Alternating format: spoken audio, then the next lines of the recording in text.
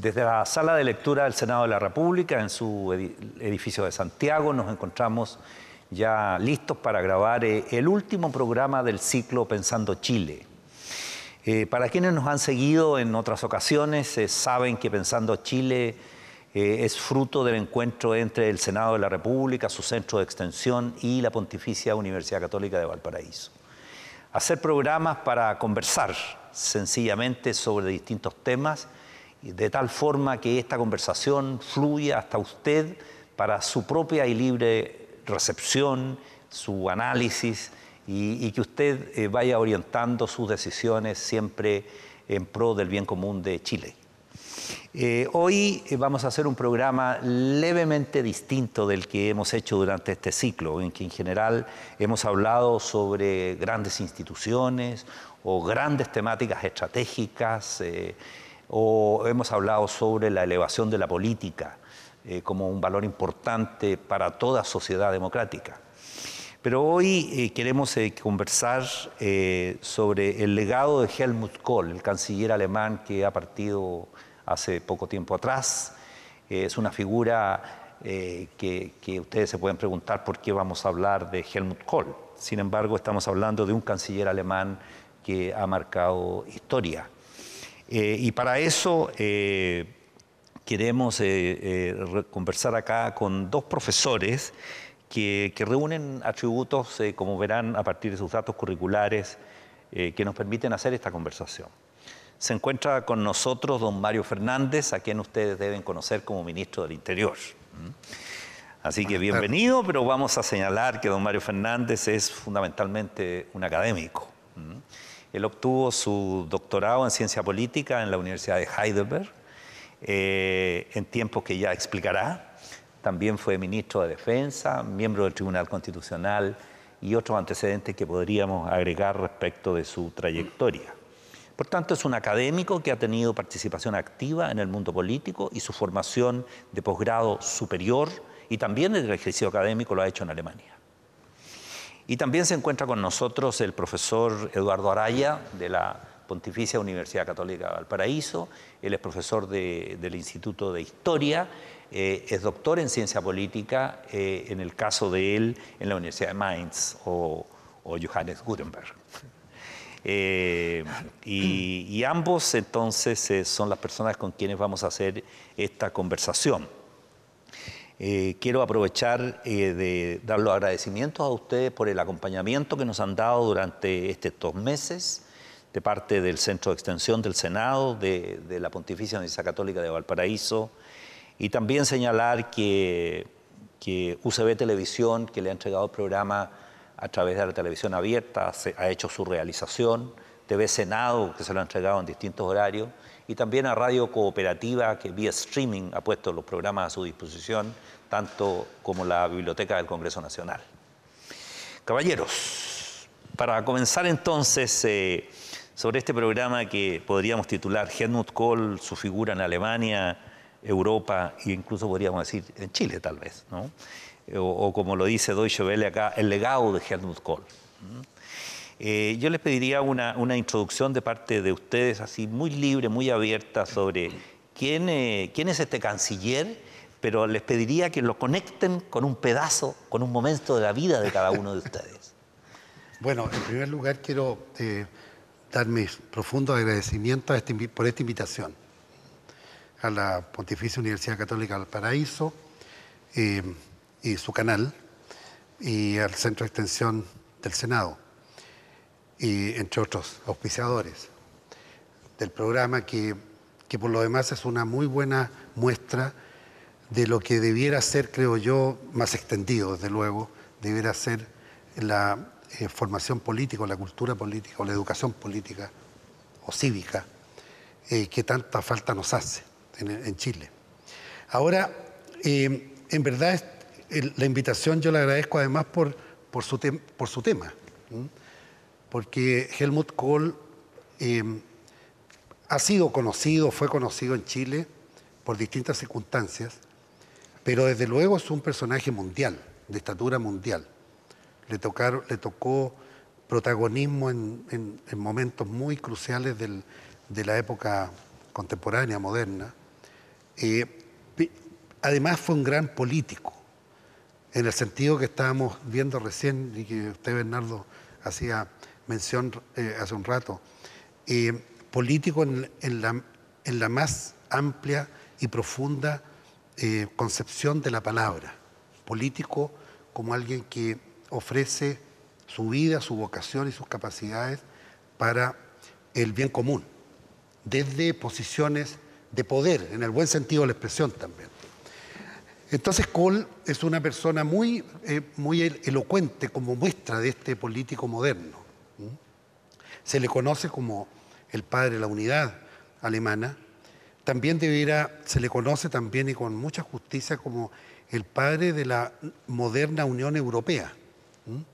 El Tratado de Maastricht del año 1993 vino a cambiar la denominación Comunidad Europea por Unión Europea, eh, entendiéndose por este proceso nuevo que se abría con la integración de los países del este, después de la caída del muro.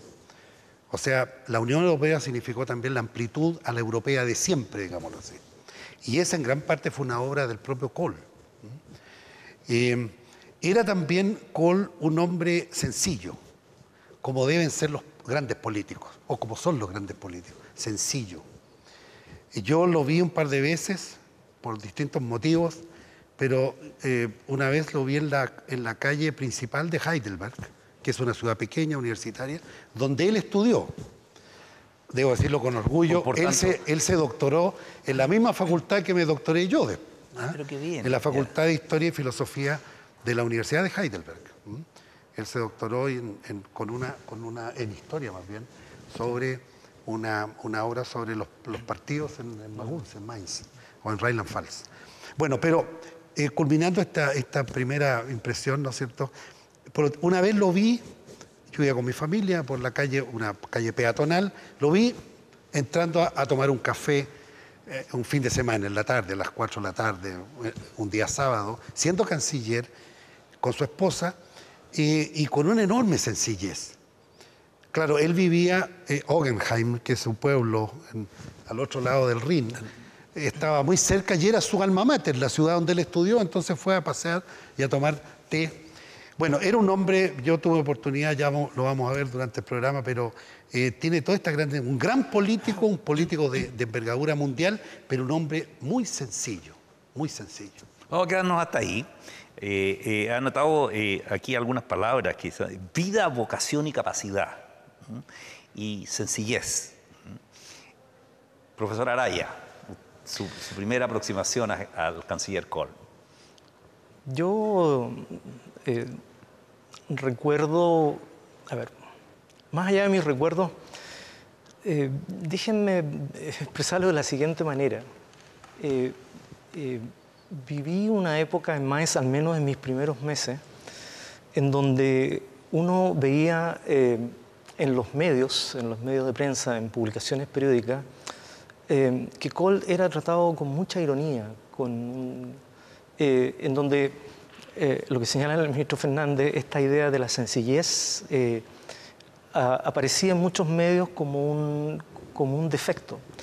Y, y, hay que recordar que Kohl sucedió a dos enormes figuras de la política alemana, dos cancilleres del Partido Socialdemócrata, en primer lugar Willy Brandt, eh, que entre sus muchas eh, destacadas tareas eh, al servicio también de Europa, le, significó lo que en la época se denominaba la Ostpolitik, la política respecto del oeste, un, un, acercamiento, una suerte de deshielo respecto en las relaciones de Alemania con sus vecinos eh, de las repúblicas así denominadas en esa época democráticas, particularmente con Polonia y con la, con la, Unión Soviética y con la República Democrática. Y a Brandt le sucedió Helmut Schmidt, que era un político de fuste, un, un político con fuste de estadista, que era un eh, economista de un enorme prestigio, que venía de Hamburgo, del norte, con imagen más bien de, de tipo frío, distante. Bueno, y um, Kohl los reemplaza, reemplaza a esa generación de políticos, eh, para decirlo en términos nuestros, como un político provinciano. Y esa era la imagen de, o eh, lo que parecía como caricatura, un político provinciano. Eh, había una caricatura muy dura, era Cole, eh, la, la, cara de Cole como una pera, lo cual es, es, una forma de decir, este tipo es tonto, simplemente. Cole tenía un lenguaje muy llano, pero a propósito de lo que decía el ministro Fernández, em, a mí me parece notable la capacidad de Cole de transformar eso que desde cierta perspectiva podría ser un defecto en una virtud, en la virtud de ser una persona simple. Es por decir, mira, podría ser mi tío o mi primo o mi cuñado, un alemán común y corriente que habla eh, en el mismo lenguaje nuestro, que se comunica, eh, o sea, que no es un político distante, eh, y, yo creo que ahí hay también una, eh, algo mm, interesante de rescatar de la figura de Cole. Cómo eh, alguien puede hacer de eso que en un primer minuto o en un primer momento aparece como un defecto en, una fortaleza. a mí, a mí se me hace muy atractivo lo que, lo que dice el profesor Araya. aquí no se trata de una conversación con dos estupendos invitados sobre una cosa extraña de otro planeta.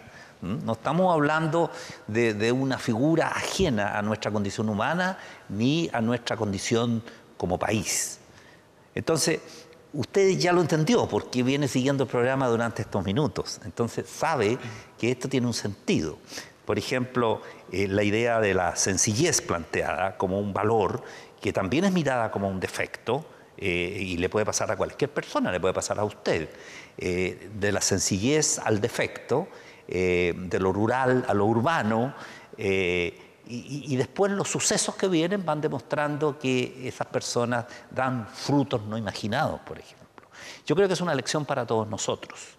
¿En qué tiempo estuviste, Eduardo, tú allá? Yo llegué a, Alemania en el año 86. Eh, estuve dos semestres estudiando alemán en Mannheim y un semestre viviendo en Ludwigshafen, que era como es la, patria de, de, eh, de, Helmut Kohl, y después fui a estudiar a Mainz, em, ya en el año 87 en la universidad, y regresé em, a comienzos del año 91, si mi memoria no Sí, el 91.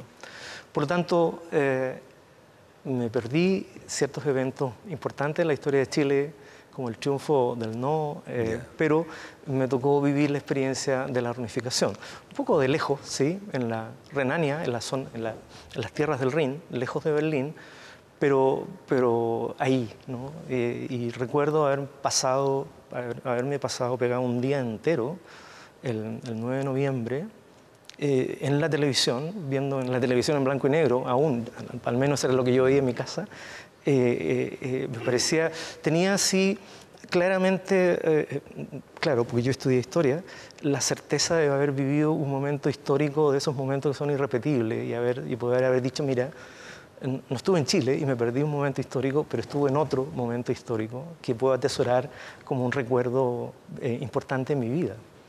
Lo que parece perdido parece ganado. También. Bueno, yo estuve, estuvimos como familia, digamos, nos fuimos recién casados con mi mujer eh, el año, eh, en enero del año, febrero del año 75, eh, becados por la Fundación Conrad Adenauer, y estuvimos hasta el año 81, la primera vez, digamos, esa fue la primera estadía, fueron los estudios, hice el magíster, el doctorado, y me contrató la universidad como académico durante dos años. Y después volvimos a Alemania el año 88 hasta el año 90. Entonces, por lo tanto, eh, coincidimos, no en la misma ciudad, pero, pero eh, yo también viví la, en la caída del muro en Alemania, también lejos, en Heidelberg, que está en el sur oeste. Pero eh, ya el primer día, cuando se abrió la frontera, vimos llegar miles y miles de alemanes del este que venían a visitar este, la parte de, esta parte de su propio país que no conocían. Y fue una experiencia muy, muy impactante. Esa fue nuestra segunda estadía. Yo fui contratado por la universidad también como en un cargo académico, docente. Y fui embajador de, Chile en Alemania ya en los años en el año 2000, del año 2003 al año 2006. Los tiempos, los tiempos del canciller Kohl, ¿cuáles son? Porque es un largo Son, periodo, claro, 16, son, 17 son años. ¿cuánto? 17 años desde el año 82 al 88. Al 90 y-. Ah, perdón, al 98. ¿Mm? Pero habría que decir que, el ca- que Helmut Kohl empezó en la política a los 17 años eh, como miembro eh, y además muy tempranamente dirigente de la Juventud Demócrata Cristiana en la zona del Rheinland-Pfalz. Eh, y hizo una carrera larguísima en, eh, en su land, en su estado, en Renania-Palatinado. Llegó a ser eh, eh, ministro presidente, el equivalente de lo que sería nuestro intendente regional, pero ya se eligen y, hay además, un, como es un sistema federal, hay un Landtag, es decir, un parlamento. Él tuvo una larga carrera en Rheinland-Pfalz, pero además habría que decir que hasta Kohl, hasta eh, comienzo de los años 70, eh, Renania-Palatinado era el land más pobre y menos desarrollado de toda la República Federal. Y antes había sido, había sido eh, un territorio de Baviera, dependiente de Sí, Baviera. en- y fue una zona, eh, en la inmediata posguerra fue una zona de ocupación francesa eh, y en los recuerdos de Kohl fue una época durísima. Kohl eh, a los 14 años, durante la guerra, formó, tuvo que formar parte de un cuerpo de, podríamos decir, algo así como defensa civil o bomberos voluntarios, pero en donde parte de su trabajo no solamente era apagar incendios, también era sacar cadáveres. Por tanto, eh, es una, es una experiencia muy temprana de la guerra y eso permite entender también muchas de las preocupaciones de Kohl eh, a propósito de la, de, la, de la Unión Europea, de la unificación europea. Y hay una frase famosa ¿no? En la época ya de la caída del muro. No, no, no quiero una Europa alemana, quiero, quiero una Alemania europea. Eh, y, y yo creo que ese dato no es menor, la experiencia de la guerra a propósito de esta preocupación por, por Europa. ¿Por qué, ministro? Sí. No, que hay una, hay algunos eventos, digamos, eh, que unió a Kohl con Chile. Hay varios, pero hay uno muy importante que fue el llamado caso Honecker, ya recuperada la democracia en Chile, cuando se produjo la digamos, la estadía del, del ex líder de la Alemania Oriental, Oriental. en nuestra embajada en Moscú y que produjo un entrevero, por no decir un incidente, entre Chile y Alemania, porque Alemania quería, digamos, estaba, estaba buscado Honecker para ser juzgado en Alemania. Y, y por lo tanto eso causó una, una situación muy complicada entre dos países tan amigos, pero además entre dos líderes que estaban unidos por su propio partido, Helmut Kohl y Patricio Elwin, y que habían tenido mucha eh, cercanía en eventos internacionales, demócrata cristiano, etcétera, y Kohl había sido, había ayudado mucho en la recuperación democrática en Chile. Pero lo importante es que en ese momento estábamos en una posición de crisis, de, eh, eh, había un entrevero entre los dos países. Y aquí, hay un- hay- aquí tiene, digamos, entra un tema de política alemana, bien importante, porque la idea que había acá era que Alemania estaba muy enojada con Chile. Esa era la percepción la chilena. percepción chilena. Y también por, lo- por las declaraciones, digamos. Y la diplomacia alemana era dirigida por Hans Dietrich Genscher, que era el jefe del Partido Liberal, coaliado con la democracia cristiana en el gobierno. Y él era especialmente duro con Chile. Entonces, don Patricio Elwin estaba preocupado de que un país tan amigo fuese tan duro con nosotros.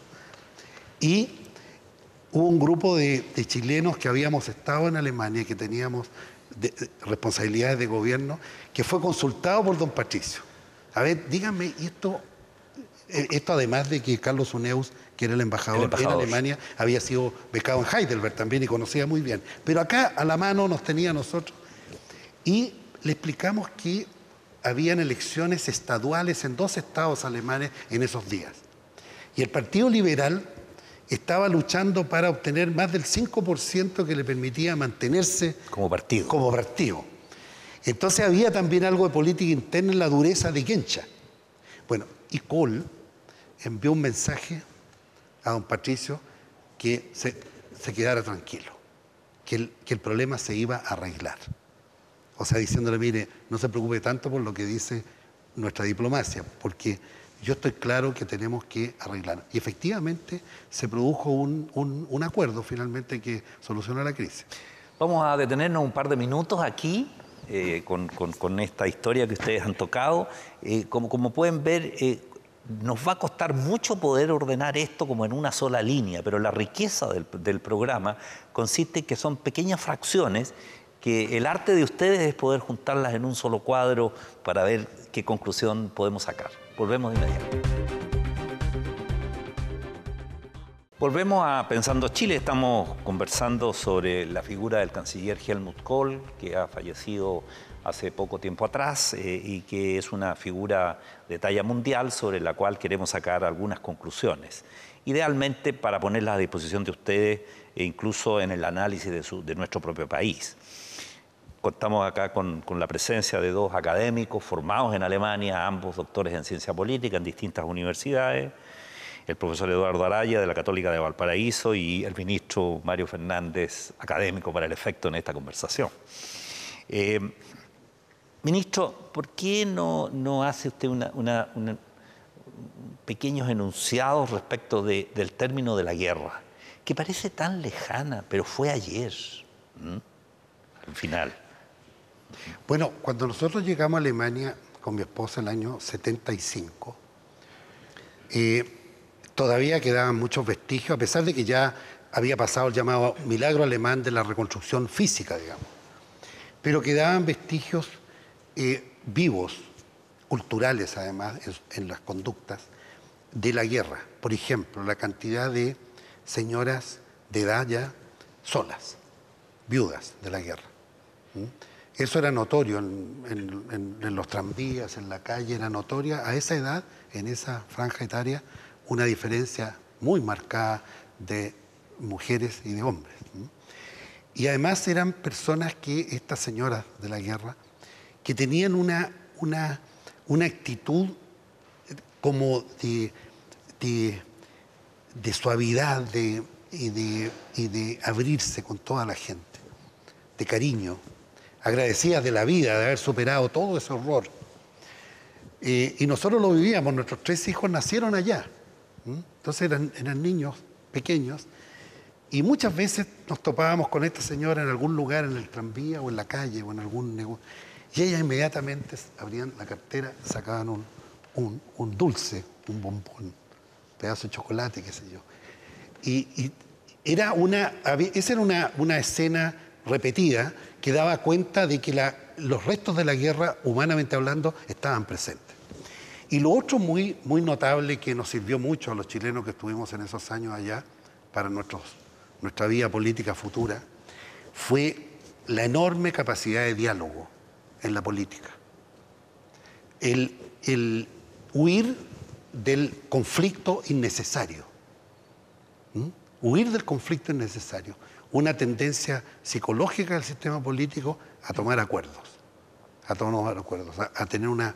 Lo mismo hacía Alemania en Europa, sabiendo la imagen que tenía como país y el rol que le había tocado cumplir en la guerra, entonces jugaba realmente en la política europea a ser siempre un factor de unión.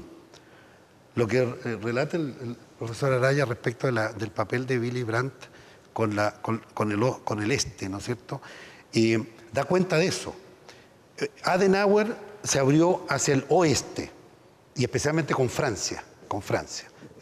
Famosa esa foto en Reims, en los dos en la... en- y Kohl también hay una foto muy bonita con Hay Mitterrand, una foto- con Mitterrand que están de la mano. en el aniversario Bueno, de la batalla de Verdún. de Verdún. Entonces hay una, hay una, una actitud de uni- unidad, unidad que, que tuvo después un- unos frutos muy claros con la reunificación. Sería muy, muy rápido concluir, eh, o mucha falta de rigor concluir, que esta valoración del diálogo es fruto de, de la, eh, de la- de la experiencia de la tragedia. Claro, en gran parte sí. ¿Mm? Y cuando uno no ha tenido tragedias, ¿podría uno concluir entonces que no le da al diálogo la verdadera valoración? ¿O es, Bueno, o pasar muy rápido a una conclusión. Nosotros tuvimos una época en los 60 cuando no teníamos tragedias lejanas, que nos faltó diálogo. ¿eh? Hay un, hay un tema de valoración cercana. Nos pasó a nosotros también en los 90, y en la década siguiente también, a Chile, y es bueno que haya pasado. Claro, además, eh, Europa como tal, como concepto, el profesor Araya, el historiador, puede dar mejor cuenta de esto, pero como concepto se implantó después de la guerra como algo propio de todos. El concepto de Europa es nuevo eso, quizás después de, Carlomagno, quizás de cuánto tiempo atrás, pero el concepto de, Europa como una entidad única eh, es producto de la guerra, sin duda. ¿Cuánta gente muere en la guerra segunda? La cifra ya no la recuerdo con precisión, pero deben ser unos 40 millones. O sea, en la, 20, eh, millones Claro, murió gente en todo el mundo, además, en el Extremo Oriente, eh, por eso es la guerra mundial. Ahora, toda la conversación de ustedes aún está con la Alemania dividida. Sí, claro. Aún no hemos hecho caer el muro. Sí, ¿Mm? déjame decir algo eh, a propósito de tu pregunta, Bernardo. Hay un discurso famoso del canciller Kohl en el Knesset, en el, Parlamento eh, de Israel, en donde Cole habla eh, en sus primeras frases de la gracia de un nacimiento tardío, de la gracia como la gracia de Dios, de no haber sido él parte de la generación de la guerra, porque él nació muy tardíamente, en el año 30, y por lo tanto eh, al 45 tenía 15 años.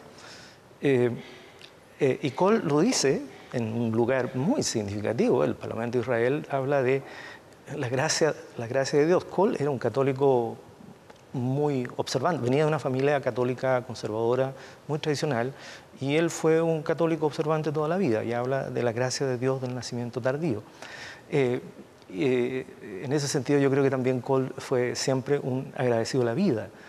Eh, yo, a, propósito de tu invitación, me tomé el trabajo de ver un par de documentales recientes eh, de la televisión alemana eh, y Kohl, en, un documental que debe ser del 2015, por ahí, ya bastante enfermo y viejo, finaliza un poco de nuevo con esta idea de un hombre agradecido a la vida, dice, mira, yo cometí errores, hice lo que creía que tenía que hacer, pero soy una persona que, que agradecida de la vida, de, la oportunidad que ha tenido y de, eh, y de que se tiene que hacer cargo de que cometió errores, y de, pero que también hizo, intentó hacer cosas positivas para los demás y que alguna de esas cosas positivas también logró.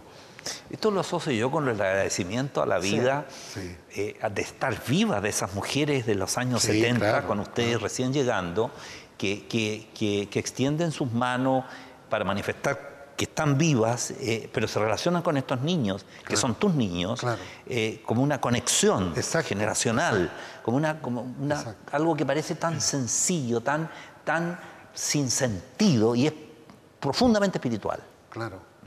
Y además hay, una, hay un retorno de Alemania a sus raíces antes del nazismo, digamos.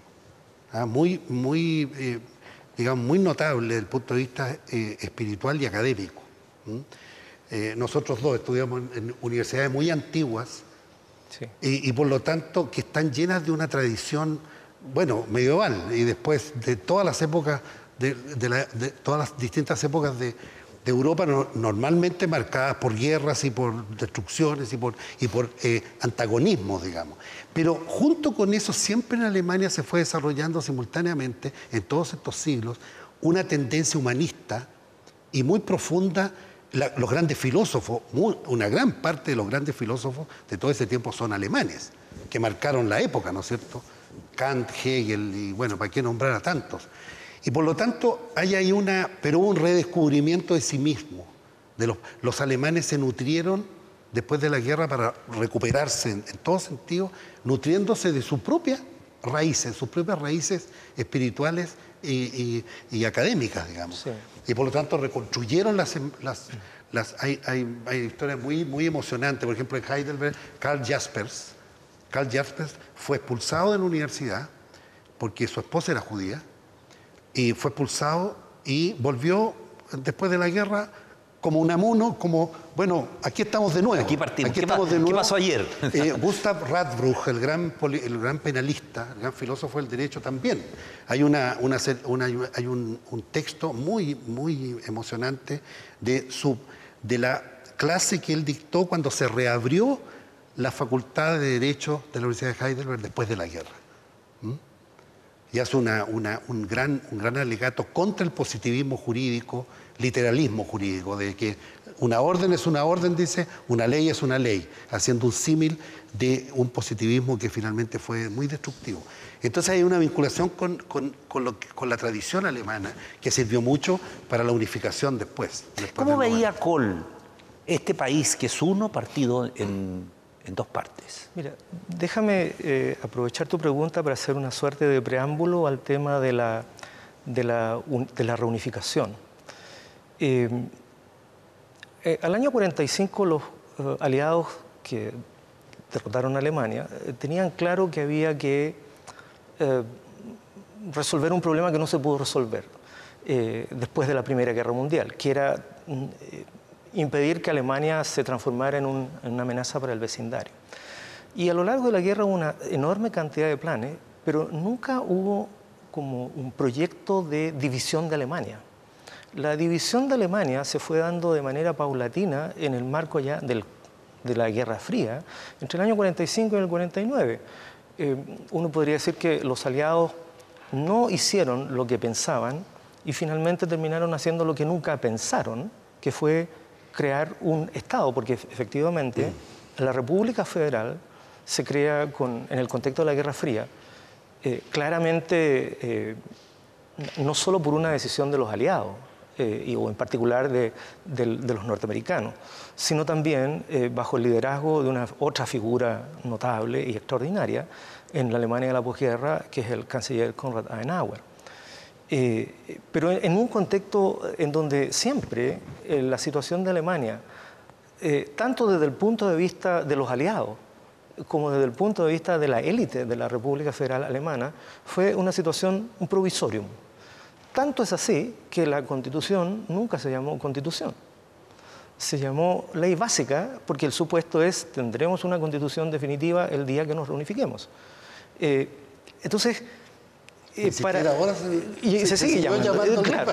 Y entonces eh, es perfectamente comprensible que en, un- en una figura como Kohl, pero también probablemente en Brandt, haya estado siempre el sueño de la reunificación eh, y, y la diferencia sustancial es que Kohl tuvo la oportunidad de la oportunidad de- en, en- una coyuntura muy especial de concretar ese proceso. Pero además eh, eh, habría que decir con mucha claridad, a partir del testimonio, por ejemplo, documental de figuras con Gorbachev, el presidente Bush, el presidente Clinton, eh, eh, de que de no haber sido por Kohl en el minuto de, la caída del muro entre el 89 eh, y el 90, probablemente la unificación, la reunificación de Alemania hubiese tardado 10 años. Entonces, eh, hay un, eh, a mí me parece fascinante desde el punto de vista político en una figura como Kohl, esta, esta, esta dualidad que se integra de tener el sueño, el gran proyecto, pero la habilidad extraordinaria de usar la coyuntura eh, contra viento y marea, porque lo hizo contra su, con su amigo, en contra de su amigo Mitterrand, para empezar, su amigo, con el tenía una relación personal, en contra de la preferencia de Margaret Thatcher, eh, con una distancia, una, una relación más o menos distante con los norteamericanos, en contra de la oposición de Gorbachev inicialmente, y contra viento y marea, Kohl logra imponer su programa y termina en el lapso de un año reunificando Alemania. Eso a mí me parece eh, una, es una cosa extraordinaria. Había mucha resistencia a la unidad alemana que provenía de la historia también. Cuentan que un francés famoso dijo, yo quiero tanto Alemania que, que me gustaría que siguieran habiendo dos. Entonces hay una, una ironía. ¿no es Pero ¿cuál era, Hay la- ahí. cuál- cuál era el Pero, sentimiento de la Alemania dividida en dos? En dos? Bueno, ¿Cuál era el sentimiento que había? ¿Qué- en, qué- qué- los propios alemanes. Los propios alemanes no se creían, a, en- a la, a la larga, en lo profundo de su ser, no creían de que de que fuesen dos países distintos. Nunca, nunca tuvieron una sensación. Se hablaba siempre de dos estados y una nación. Y por lo tanto eran parte. Además, había muchos vínculos familiares entre los dos lados, digamos, gente de los dos lados. Los que quedaron a un lado y quedaron al otro. La, el, proceso mismo de la caída del muro y la reunificación se produjo muy rápido. Fue una sucesión de hechos en ese verano, verano europeo del año 89, con las sucesivas eh, tomas de las, de las embajadas alemanas en Praga y en, otros lugares, eh, que fueron, fue, fue descascarándose la estructura del comunismo europeo, digamos, del este pero ahí está la visión de Kohl, la visión de actuar, pero sin desbaratar nada. ¿ah? Actuó como preparando el camino para lo que venía después, no se apresuró, pero fue hilvanando, digamos, además el acuerdo con los aliados, porque los aliados tenían presencia física todavía en Alemania. el estatuto de ocupación. la ocupación es 2 más, dos más 4, los acuerdos de 2 más 4 son las dos Alemanias y las cuatro potencias, o sea, todavía el 89 eso era una realidad. Y Berlín, la ciudad todavía tenía, digamos, en teoría, tenía, tenían el derecho de estar físicamente ahí, digamos, los, los ocupantes. Entonces, por lo tanto, fue un proceso, eh, un, proceso típico que requiere de un liderazgo. Las cosas ocurren en las estructuras, pero requieren de, una, de, una, de, la visión de alguien que orienta las cosas y, Alemania encontró a Kohl en ese... En Él tenía el arte del manejo de los tiempos entonces. Sí, y de las personas también. Y de, construir relaciones personales. Sí, las personas. por ejemplo, ¿qué? Mira, la primera... Uh, Yo he leído alguna historia sobre las relaciones personales. En el año 85, y de la cocina 86, la, la, la, primera... La, la, primera, eh, podríamos decir, el primer evento en la relación entre Kohl y Gorbachev fue desastrosa porque Kohl en un arranque de poco, poco tacto lo comparó con Goebbels. En realidad lo que quiso decir, además estando en Estados Unidos, a un medio norteamericano, eh, lo que quiso decir eh, paradojalmente Kohl es que eh, Gorbachev tenía un gran talento comunicacional, en, el fondo era un reconocimiento, pero, pero lo hizo muy mal evidentemente que en, una figura como Gorbachev y en la élite del Partido Comunista en ese minuto, pues estamos hablando del año 86, eh, cayó pésimo. Además, eh, en la primera entrevista que tuvieron, eh, Gorbachev le dice, mire, señor Kohl o canciller, usted dice exactamente lo mismo que dicen en Washington y la única diferencia es que usted lo dice en alemán. ¿Tiene usted ideas propias? Entonces, la relación inicial fue extraordinariamente gélida pero con el curso de los años, y particularmente en todo este contexto de esta disolución de los países de la Europa del Este, las necesidades de la Unión Soviética de tener mayores vínculos o mejores vínculos eh, con Occidente, eh, Gorbachev eh, y, y, Kohl construyeron una relación muy cercana. Y eso, eh, según el propio Gorbachev, fue fundamental, porque, de nuevo, por una razón. Porque decía, eh, Gorbachev dice, porque Kohl finalmente era como un ruso. Eh, yo podía tener relaciones de confianza con él. Y de hecho, la última fase de la negociación 2 más 4, las dos Alemania más las cuatro potencias de ocupación, la resolvió Kohl en un viaje a la antigua Unión Soviética en donde se entrevistaron con Kohl, en donde resolvieron un punto que, claro, en, visto desde acá, en retrospectiva, era un detalle, pero era un punto muy importante, era cómo resolver la salida de las tropas soviéticas de la antigua República Democrática, en donde el problema finalmente de, de Gorbachev era financiero. ¿Cómo construimos cuarteles y casas para los tipos que van a tener que volver? Y bueno, si ese es el problema, entonces lo solucionamos.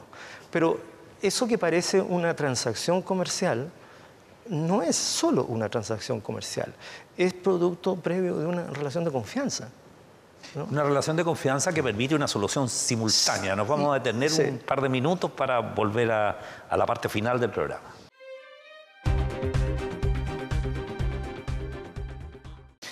Bien, vamos a la última parte del programa, ya podríamos decir momento de conclusiones dentro de lo que se puede hacer de esta, de esta historia tan larga intentada eh, de conversar en 50 minutos. Yo le voy a pedir al profesor Araya que, nos haga como su, última intervención respecto de esto y también si pudiera tener alguna nota respecto de las debilidades o de las dificultades que pudo enfrentar esa persona como toda persona. Bueno, hay, una frase eh, del canciller Kohl en, donde, en una entrevista en televisión en donde él describe lo que, cómo él ve o cómo entendía el tema de hacer carrera política y lo compara con la cordada de un, de, un andinista o la cordada de, los andinistas. ¿no? Los andinistas van unidos por una cuerda y entonces dice el, eh, el, el, que va primero tira a los otros, los impulsa y tiene que marcar la ruta, pero los otros lo sostienen. Por lo tanto, hacer política no es simplemente es el problema del liderazgo, pero no solo el problema del liderazgo, también el problema del equipo y además de la lealtad.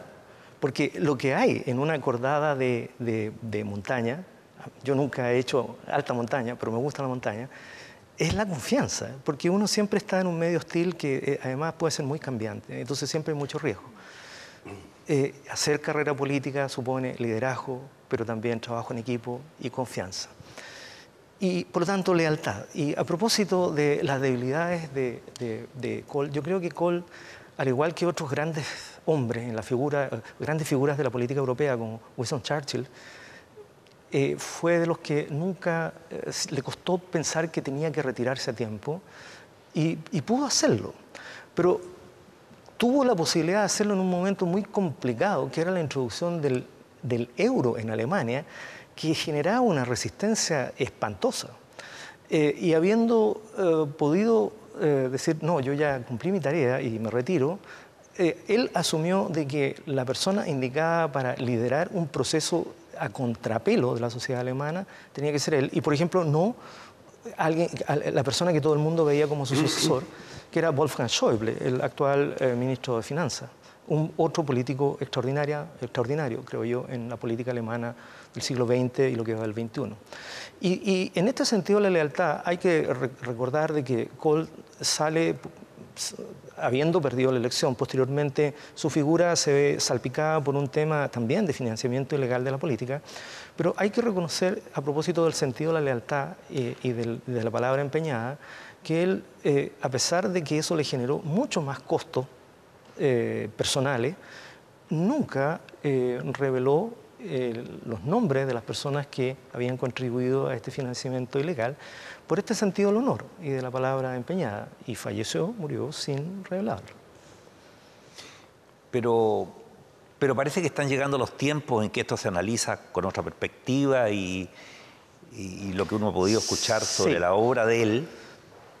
Claro, porque, porque la política siempre tiene estas dimensiones, ¿no es cierto?, de la grandeza, pero también, como dice Max Weber en un texto muy famoso, eh, tiene esta cosa un poco oscura, que es el tema del poder y la competencia por el poder. Y eso siempre está ahí. Y Weber dice que en el fondo la política también tiene algo de, la tentación del demonio, es una metáfora que él usa, no porque sea demoníaco, sino porque tiene este, esta dimensión eh, menos noble. Eh, y, por ejemplo, la actual canciller Merkel se vio en la necesidad de establecer distancia en este escándalo para garantizar eh, también, podríamos decir, la preservación de la imagen de su propio partido.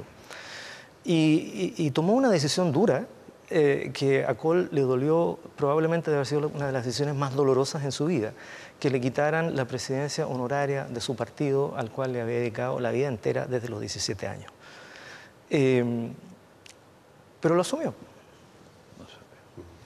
Ahora, eh, continuando con ese relato que es muy complicado, pero también es, eh, eh, es muy pedagógico.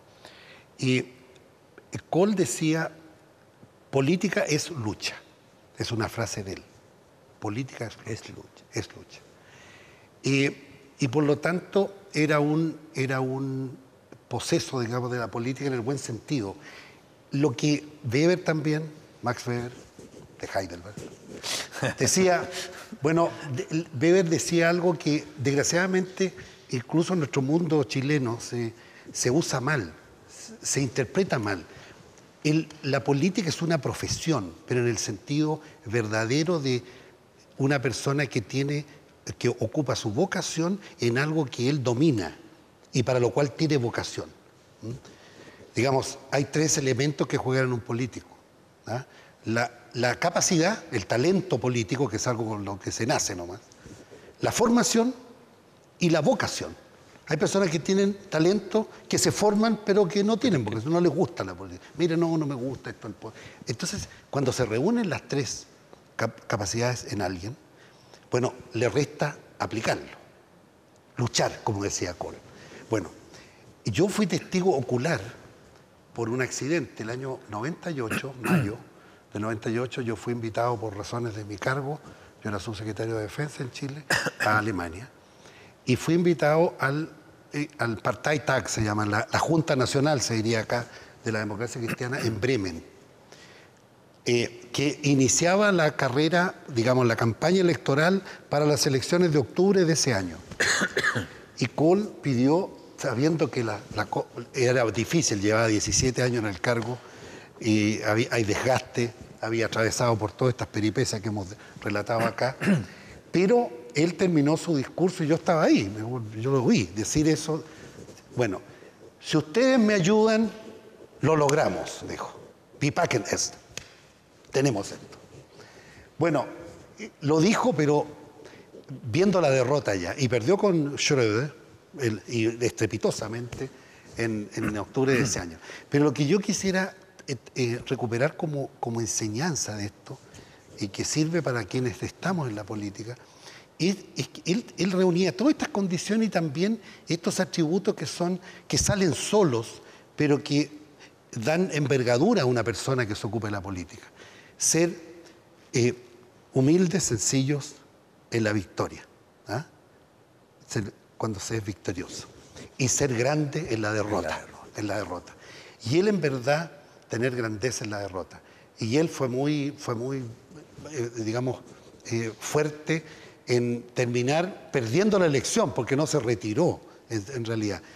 Lo retiraron, digamos, la ciudadanía alemana no, lo, no, lo, no, lo, no le dio la, como, como recordar, como le tocó a Churchill el año 45. Bueno, sí, claro eh, en medio de, después de una gran obra. Churchill había ganado la guerra y, el, y, el, los ciudadanos dijeron, mire, para la guerra era bueno usted, pero para la paz quizás no. Bueno, a Kohl, después de haber hecho tanto por la, reunificación, bueno, finalmente eh, dijeron, hay otra, necesitamos otra coalición.